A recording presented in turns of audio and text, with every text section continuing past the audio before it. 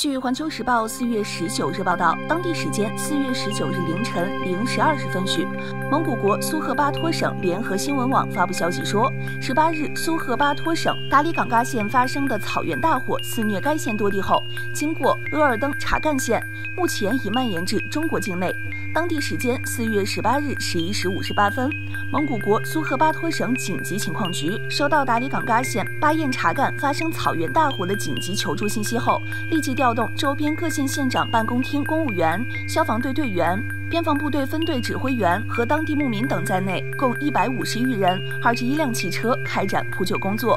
因风力较大。扑灭作业难度增加，截至发稿，扑救工作仍在继续进行中。值得一提的是，蒙古国此次草原火灾发生地位于中蒙边界附近。蒙古国春季干旱多风，极易发生草原火灾。蒙古国近来恶劣天气频发，除了这起大火外，四月十四日下午，蒙古国气象与环境监测局官网发布暴风雪和沙尘暴天气预警。当日，该国扎波罕省东部、库苏古尔省南部、后杭爱省西部、前杭爱省北部地区刮起强风，遭遇暴风雪天气。蒙古国近期接连发生强沙尘暴和暴风雪天气，强度为近年来少有，灾害天气覆盖十二个省、五十一个县，导致十人死亡。面对自然灾害频发的趋势，蒙古国政府采取多项举措，并与相关国际机构积极合作，努力加强环境治理，防范自然灾害。